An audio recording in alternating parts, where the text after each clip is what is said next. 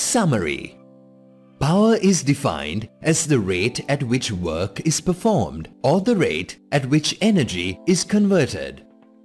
Power is calculated as follows. Power equals work done divided by time taken.